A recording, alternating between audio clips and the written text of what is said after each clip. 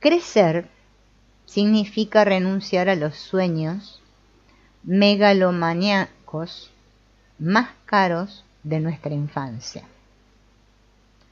Crecer significa que estos sueños no pueden ser realizados. Crecer significa adquirir la inteligencia y las capacidades para conseguir lo que deseamos dentro de los límites establecidos por la realidad. Una realidad hecha de poderes disminuidos, de libertades limitadas y en lo que concierne a las personas que amamos y de relaciones imperfectas. Se trata de una realidad construida, en parte, por nuestra aceptación de las pérdidas necesarias. Y sin embargo, a pesar de que rechazamos nuestros deseos irrealizables, estos tienen una manera solapada de ejercer su presión sobre nosotros. ¿Cómo?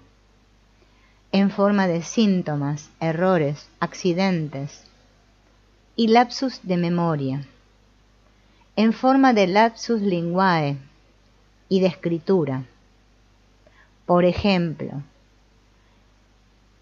querido muerto, quiero decir, padre, en forma de accidentes, porque es evidente que no salpicaría, que no, sí, que no salpicaríamos el blanco vestido de nuestra enemiga deliberadamente. Eso estaría mal visto. Y en forma de sueños, tanto durante el día como por la noche. Aún siendo adultos, los deseos prohibidos, los deseos imposibles siguen pugnando por encontrar una satisfacción. Es verdad que nuestros sueños, estando despiertos nuestras fantasías, constituyen una manera de satisfacerlos. En nuestras fantasías siempre se pueden realizar los deseos. Estas ilusiones conscientes expresarán las cambiantes preocupaciones de nuestra vida cotidiana, pero también estarán siempre relacionadas con tempranos anhelos inconscientes y no reconocidos. Las fantasías pueden proporcionarnos la solución mágica, el final del cuento de hadas. En la fantasía podemos hacer lo que queremos. Es agradable ver cómo desfilan por nuestra conciencia los actores favoritos de siempre. Pero estas no son las únicas imágenes. Nuestras fantasías también incurren en la creación de glorias impensadas, de sexo, de salas de exhibición reservada y asesinatos sangrientos. Y muchos de nosotros, al rechazar las imágenes de estos deseos vergonzosos, nos sentiremos culpables y avergonzados. Tendremos miedo de nuestras propias fantasías. Evelyn habla molesta y avergonzada de lo que los psicoanalistas ven como una fantasía normal. Ella muere, se celebra el funeral y todos los bancos de la iglesia están repletos de gente. Y, uno tras otro, todos esos miles de hombres y mujeres con cuyas vidas he estado en contacto suben al altar para hablarle a la multitud reunida acerca de los admirables favores que les ha hecho. Un ser humano tan bueno, una persona tan generosa, cuán agradecidos estamos todos. Ahora bien, a lo largo de su vida, Evelyn ha hecho muchos favores admirables a muchas personas. Su vida, de hecho, es merecedora de sus fantasías, y sin embargo, siente una profunda vergüenza porque ella dice, revela abiertamente cuántas ganas tengo de que se me reconozca esto y se me preste atención. Las fantasías sexuales también pueden revelar deseos que susciten vergüenza y sentimiento de culpa. Pensemos en Helen, por ejemplo, una mujer casada y bastante feliz. que ha imaginado toda una trama en la que aparece Ted, protagonista de una inocente invitación al cine, mientras su marido está fuera de la ciudad, y que termina no tan inocentemente en su colchón de agua. Y ella se pregunta, ¿acaso se trata de un adulterio espiritual? ¿Acaso es una manera de pensar para una joven casada? ¿Y cuán retorcida puedo ser? Supongamos que en el colchón de agua está Ted y su compañera de piso, o Ted y su hermana, o Ted y tres más, qué sé yo. Realmente, ¿dónde está el límite de lo que nos está permitido en la fantasía? Muchos de los que reconocen sus extravagantes fantasías sexuales pueden estremecerse ante sus fantasías de hostilidad como si le fueran ajenas. En ellas, la brillante mujer que envidiaban es reprobada en sus exámenes de derecho, o su arrogante y adinerado cuñado quiebra, y la coqueta de la vecina cae enferma con viruela. Y todos aquellos que estas personas temen, envidian, que los amenazan y los hacen sentirse inferiores o los irritan, sufren su castigo. La mujer de un marido infiel lo hizo enfermar en su fantasía con un prolongado caso de tuberculosis para sacarlo de, su, de circulación.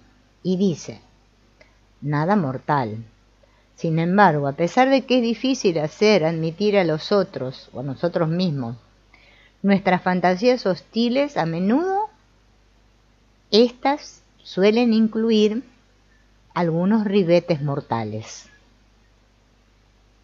Consideremos el caso de la amable Amanda, una persona autoexcluyente y reacia a competir. Cuando alguien la irrita, ella le desea la muerte. Nunca se queja ni se hace valer, pero dentro de su cabeza hay una corporación de asesinos que viven ahí. Y sus imágenes de venganza son bastante duraderas e inmisericordes. Consideremos el caso de Harry, que cada vez que se siente acosado por su esposa, se recrea con la placentera fantasía de lo agradable que sería su vida si la próxima vez que su esposa tuviera que volar, el avión sufriera un accidente. Y consideremos una simpática mujer como yo, dice la autora, ¿no? Cuando aquel año un pequeño matón de 12 años se peleó con uno de mis hijos y yo lo envié de la escuela a su casa muy afligido. En muchas ocasiones, debo confesar, he solucionado el problema de los matones pensando en empujarlos debajo de un camión. Si las fantasías de las ambiciones hacen sonrojar a algunas personas y las fantasías sexuales provocan la misma reacción, además de la culpabilidad, las fantasías violentas y asesinas también pueden provocar vergüenza, culpabilidad y temor. Este temor tiene que ver con lo que los analistas llaman pensamiento mágico.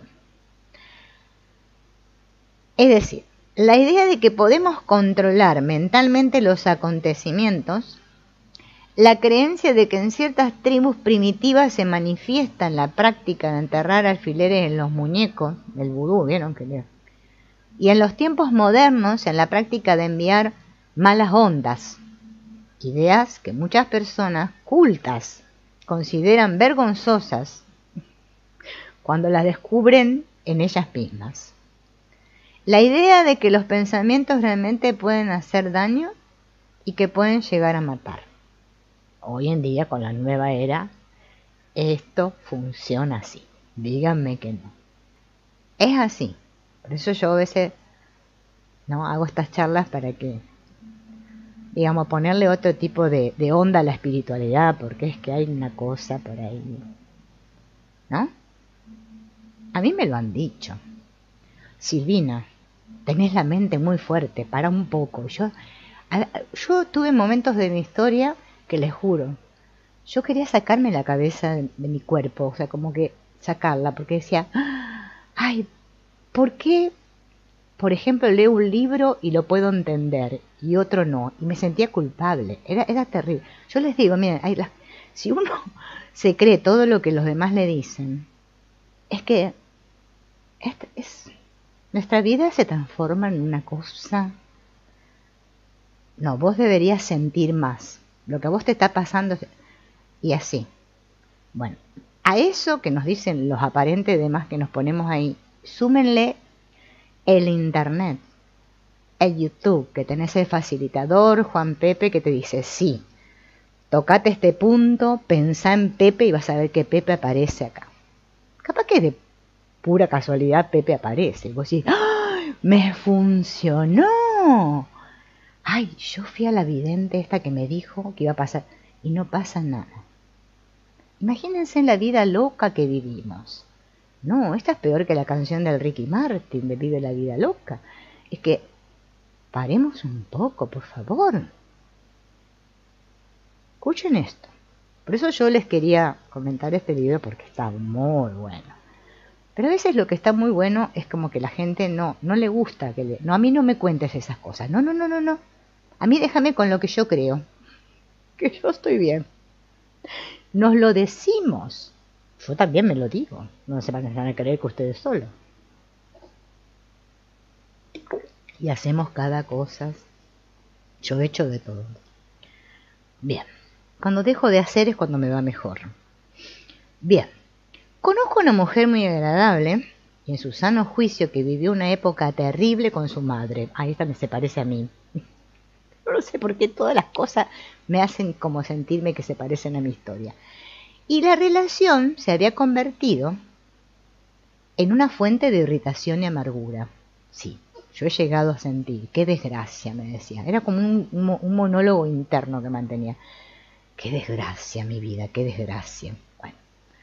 Se peleaba con ella todos los días y un día que iba a visitarla, sus fantasías le hicieron imaginar que su madre había sufrido un ataque al corazón del que habría de morir. Bien. Al llegar a su, a su calle, a su calle, ¿no? Debe ser la calle de la, de la madre, donde vivía la madre, ¿qué ve la mujer? Una ambulancia, ¿no? se detiene justo en el edificio donde vivía la madre. Ella estaba totalmente convencida, ¿no? Y le cuenta a la autora del libro que es terapeuta, ¿no? le dice, cuando vi la ambulancia, ¿no? Pensé que le había provocado un ataque cardíaco a mi madre, o sea que yo con mi pensamiento, y debo confesar que una parte de mí aún cree, ¿no? De una manera algo insensata, que mi magia mental había errado su blanco y en lugar de mi madre había caído sobre otra anciana que, que se ve que la ambulancia era para otra. Bien. Antes de que le, de que nos riamos, dice Calota, porque esto es para reírse. Hay que reírse un poco, ríanse, porque es cierto. Yo, a mí también, yo tuve muchas fantasías así, que me levanto y digo, ay, quizás viene la señora que cuida a mi madre y me dice, tu madre estaba muerta. Es que se me cruza. Hay que ser honestos. Te te vienen esas cosas. Porque es como que uno cree que con el pensamiento pero después te, sentís culpable, porque si realmente pasa, decís, ¡Ah! la maté yo, oh, soy una asesina mental. Somos mentales, ya no somos ni seriales, somos mentales, asesinos mentales. Bueno, fíjense. Resulta, ¿no? Antes de que el lector sonría entretenido con estas tonterías supersticiosas de mi amiga, quizá debería preguntarse lo siguiente. Si tuviera que jurarme por la vida de mis hijos, que algo dicho por él era verdad, cuando en realidad era una mentira, ¿podría realmente ir tan lejos como para jurarlo? Sé que yo no podría. El creer en la realización de los deseos es la omnipotencia de nuestros pensamientos, o en los poderes secretos y dañinos que nuestros pensamientos poseen, y pertenece a una etapa por la cual todos pasamos, y que muy pocos llegamos a superarla del todo, cuando hay una dosis suficiente de culpabilidad a propósito de algún deseo terrible que hayamos tenido, y viendo que ese terrible deseo se cumplía en realidad, encontramos todo tipo de explicaciones plausibles bullendo en nuestra mente.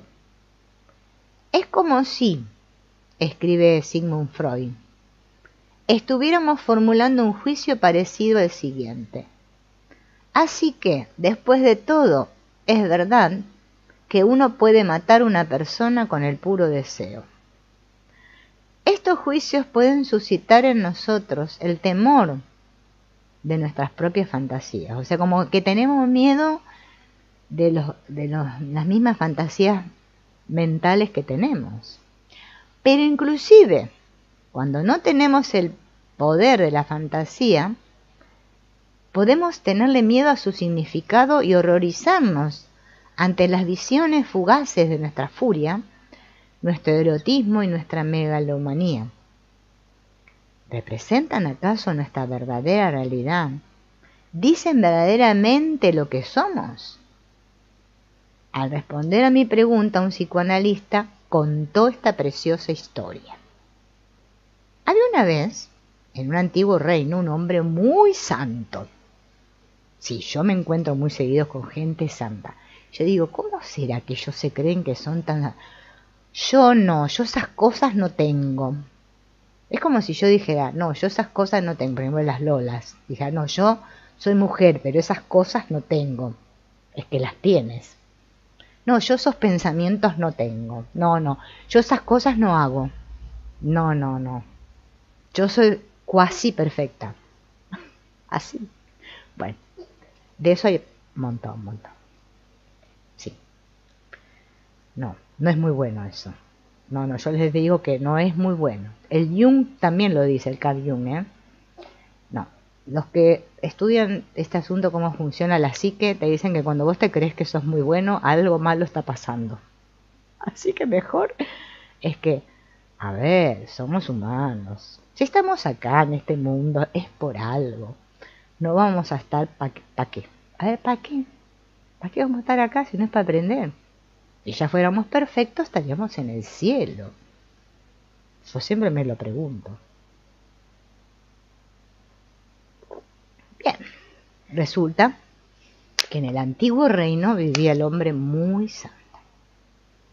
Era muy conocido por su generosidad de corazón y muchas obras buenas que había realizado. El gobernante de aquel reino, que estimaba al hombre santo, le encargó a un gran artista que pintara un retrato, el retrato del hombre santo. Con motivo de un banquete ceremonial, el artista presentó el cuadro al rey. Pero cuando al sol de las trompetas, no, las trompetas cuando iba a presentar el cuadro, ¿no? El lienzo fue descubierto, vieron cómo se hace toda la ceremonia así. El rey se apartó asombrado. ¡Oh! dijo el rey. Al ver que el rostro del cuadro, o sea, el rostro del hombre santo, era brutal, cruel y retrataba a un depravado. ¡Oh! ¡Oh! dijo el rey, esto es un escándalo dispuesto a pedir la cabeza del artista. Tráiganme la cabeza de ese desgraciado que me pintó al santo así. No, mi señor, dijo el hombre santo. El retrato es verdadero. Y luego explicó, ante ti está el retrato del hombre contra el cual yo he luchado toda mi vida. Fíjense, en el santo lo reconoció. Lo que este analista está diciendo al contar esto es que todos nosotros, inclusive el más santo, experimentamos impulsos contra los cuales luchamos todos los días. Y si bien esta parte, ¿no? De esta lucha se desarrolla fuera de nuestra conciencia, existen otros impulsos y deseos, a veces formulados a manera de esas viñetas, ¿vieron? De las historietas, que se llaman nuestras fantasías, que nos vuelven dolorosamente conscientes de la persona que tratamos de no ser, aquella persona primitiva, exigente, amoral, infantil, que a veces encontramos en nuestras propias fantasías. Los psicoanalistas señalan que la palabra crucial en el párrafo precedente es contenida. Las fantasías están contenidas. No se trata verdaderamente de un paso al acto. Y reconocer en nosotros mismos nuestro yo primitivo no significa convertirnos en nuestro yo primitivo, puesto que las fantasías solo tienden a expresar aquello que en la vida real hemos transformado y uh, uh, domado un poco. Lo apaciguamos como el caballo. También señalan que, nos agrade o no, en realidad, cualquier cosa interviene en nuestras fantasías, lo cual no significa que no debamos sentir ningún tipo de inquietud a propósito de ellas. Por ejemplo, dicen si nuestras fantasías son constantemente violentas y crueles, o si nuestras fantasías sexuales no coinciden para nada con nuestra vida sexual. Quizás deberíamos tratar de aprender algo acerca de nuestros sentimientos violentos o de nuestros problemas sexuales. Y también dicen que si nuestras fantasías constituyen un sustituto total de la vida, si en realidad no hay ni trabajo ni amor, si solo hay fantasía, quizá debamos entender por qué estamos viviendo en nuestra mente en lugar de vivir en el mundo.